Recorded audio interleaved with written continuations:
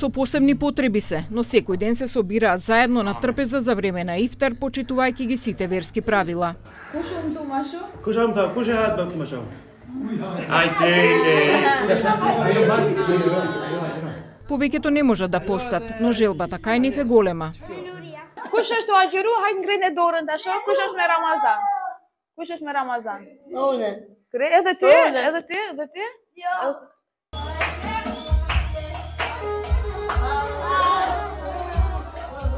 Потоа следеше забавниот дел, игри и активности, но најмногу им се допаѓа да танцуваат и да се дружат.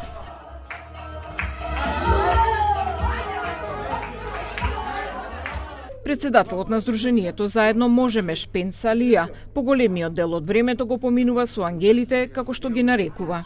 Ndjenja e, e iftarit është shkaku se ka edhe fëmijë që nuk mba- nuk nuk janë të gjerushët, por asnjëherë nuk fillojnë para kohe. Ajo është ndjenjë se ti kur e shef shembull kur thirr ezani, edhe ato e dinë edhe se nuk nuk nuk agjerojnë, por e dinë atë arend atë rregull se duhet uh, të pritet derisa të thirr ezani ta na fillojmë krejt bashkë edhe janë momentet uh, uh, se njeriu uh, shpirtin e ushqen me gjëra të mira, kupton?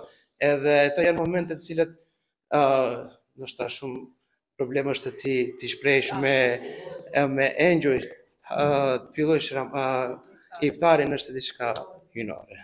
Шпент не е сам во оваа мисија, му помагаат и неговите две мали керки, кои еден ден сакаат да бидат како нивниот татко. Ka jeni çdo mbrëmje këtu, çdo iftar? Po, po. Edhe si po ju pëlqen me qenë këtu? Shumë. Shumë.